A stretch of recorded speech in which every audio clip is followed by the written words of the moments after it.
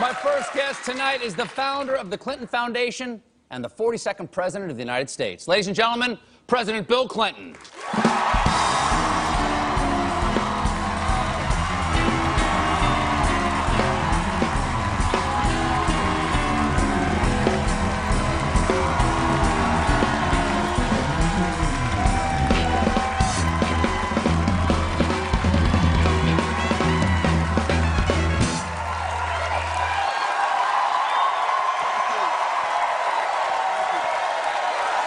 Thank you.